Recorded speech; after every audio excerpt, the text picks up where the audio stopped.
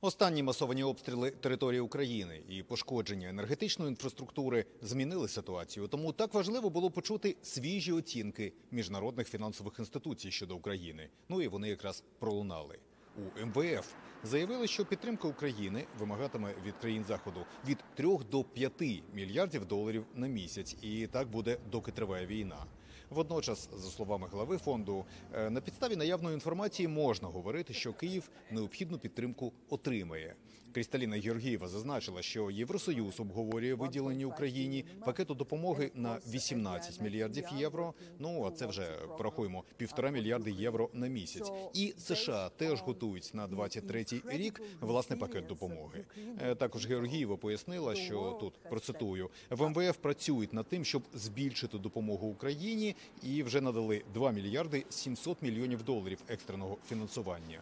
Від глави фонду пролунав іще один важливий меседж щодо прозорості і звітності е, для використання донорських грошей. Е, Втім, директор розпорядник МВФ сказала, що Україна тут знову цитата дуже добре реагує на заклики забезпечити прозорі механізми для відстеження грошових потоків. Ну і ще раз наголосила знову процитую, впевнена, що ця підтримка продовжуватиметься.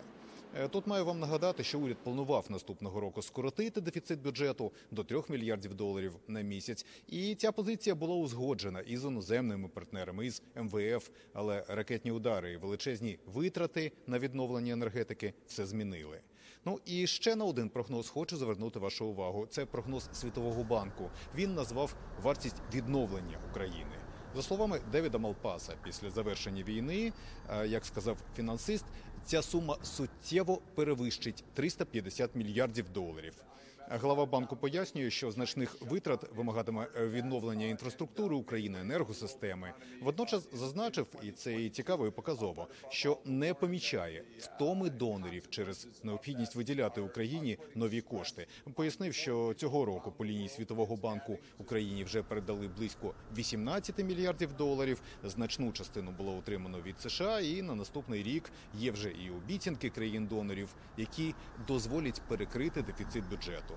Ну а сума, яку називає Малпас, вона значна, але тільки з арештованих та заморожених російських активів е, на заході від 300 до 500 мільярдів доларів.